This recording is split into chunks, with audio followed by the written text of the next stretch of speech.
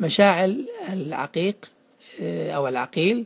تقول السلام عليكم ورحمة الله. أريد أن أسأل حكم القرض من البنك وأي بنك مضمون أنه شرعي؟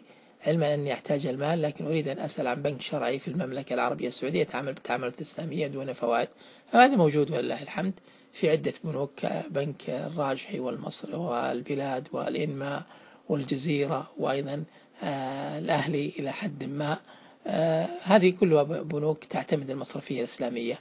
آه، فالأخذ منها بطريقة شرعية لأنه كون البنك مصرف أهلي أو عفوا مصرف إسلامي أو يعتمد المصرفية الإسلامية لا يعني أنه كل معاملاته أن كل معاملاته صحيحة. لابد من التحقق من الطريقة التي يجري بها أو من خلالها تجري من خلالها عملية التمويل.